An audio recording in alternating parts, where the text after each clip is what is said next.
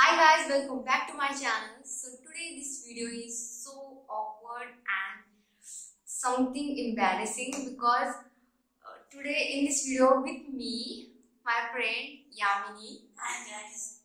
So uh, I choose some question that's so awkward and right now for YouTube that's a trend. My god, so hot.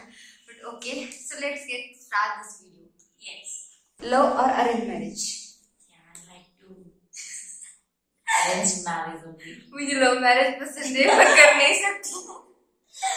Arrange marriage what does it mean when girls say they are fine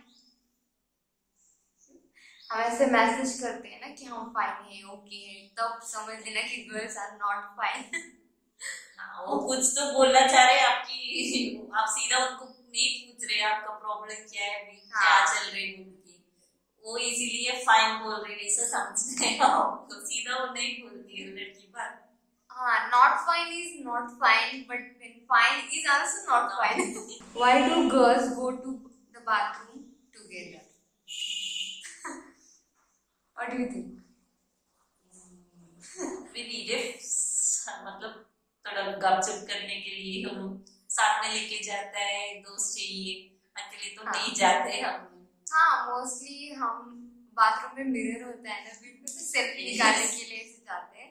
so photos को सब खींचने के लिए एक तो चाहिए ना हाँ। दोस्त तो चाहिए। हाँ। बियर्ड और नो बियर्ड ज़्यादा बेड नहीं चाहिए नॉर्मल जैसे। नॉर्मल अरे नहीं मेरे लिए ना गाइस पे डिपेंड करता है। वो अपने आप को कैसे कैरी करता है ना। Yes, वो हाँ। उनकी अटैक पे वो डिपेंड होता है बट पूरा बहुत ज़्यादा पूरा निकाल दिया तो वो वाला भी नहीं हाँ। बेड वाला। मतलब ए, मैंने कुछ बॉयज़ देखे हो ना क्लीन बियर्ड सब। हाँ वो भी yes, दिखते हैं। बट वो मेंटेन करने की हाँ जो है। अपने आप को जैसा मेंटेन कर सकता है ना उस पे डिपेंड करता है वो होता है next question what the first thing girls notice in a guy what do you notice Face. Face face में क्या नोटिस करते हो? मतलब I smile Smile. Smile and eyes and smile secondary option smile. Biggest turn on and biggest turn off. First में okay I think for me is smell अगर कोई मुझसे बात कर रहा है तो सबसे ज़्यादा smell attract me first so that's a biggest turn on and sometime कुछ गाइस ऐसे बोलते रहते ना कुछ उनके पास नहीं है फिर भी बड़ा चढ़ा के बोलना वो मेरे लिए सबसे बड़ा टर्न ऑफ़ है। मतलब उनका एटीट्यूड मेरे लिए फ़र्स्ट टर्न ऑन होता है मतलब उनका बिहेवियर कैसे हाँ। बिहेव करता है वो टर्न ऑन है मेरे लिए। और टर्न ऑफ़ क्या है? मतलब इधर इधर हमारे सामने एक जैसा बात करते हैं पीछे हमारे पीछे हाँ, हमारे हाँ। बारे में बोलता है। Off. yes. Do the girls like fucking boys and or a simple boy? Obvious, simple, Simple boys boy. for me. Okay. The fucking boys are so good sometimes, but uh, वो multiple girls को date करते हैं Yeah. उसके बाद किसी एक पर stick हुए तो ठीक है नहीं लगता है हाँ हाँ true नहीं लगता but stick हुए तो better. But simple boy is first choice. How to ask a girl to go out? आगे क्या है रीजन सीधा बोल दिया तो कोई भी लड़की को जेन्यून लगा तो सीधा जाता है। उसमें कोई भी डायरेक्टली बोल दो कुछ घुमा. फिरा के नहीं जाना है तो बोल दो सिंपल डज एज मैटर्स मेरे लिए वैसा कुछ भी नहीं एज मतलब आप किसी को डेट कर रहे हो तो आपके एज के बराबर होना चाहिए या बड़ा होना चाहिए या छोटा ऐसा कुछ ऑब्वियसली बड़ा होना चाहिए। बड़ा मतलब कितना बड़ा? है मतलब उतना बड़ा नहीं एक दो साल बस फॉर यू मेरे लिए मेरे एज का ठीक है और एक या दो साल बड़ा ठीक है ना? Do girls make the first move no problem क्या है?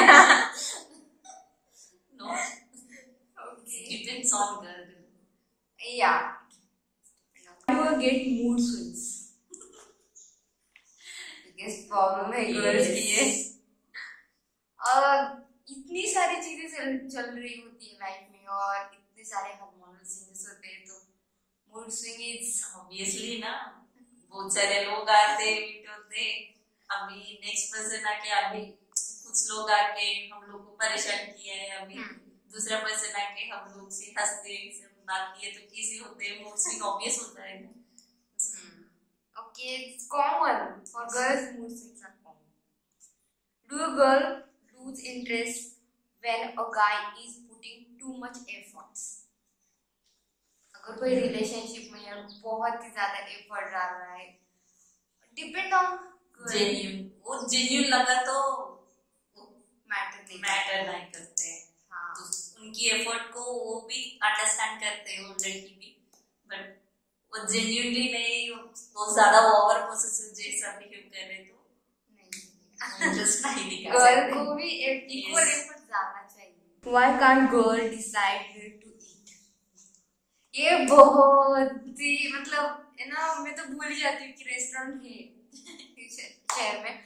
मेरे साथ बहुत बार हुआ है मैं जब भी जाती हूँ गर्ल्स फ्रेंड के साथ ना मुझे डिसाइड करना नहीं पड़ता हम यहाँ जाएँगे बट बॉयज़ फ्रेंड के साथ होगी तो पता ही नहीं रेस्टोरेंट है। Yes yes what does girl keep in their bags bag में क्या? है? ऑब्वियसली वो तो रहता ही रहता है। मेरे बैग में मोस्टली लिपस्टिक और tissue is Bag. Very important tissue और some pads and pads that's it That's it. So hope you all enjoy this video and don't forget to Like and subscribe the channel. channel. thank you so much for watching this video bye Bye.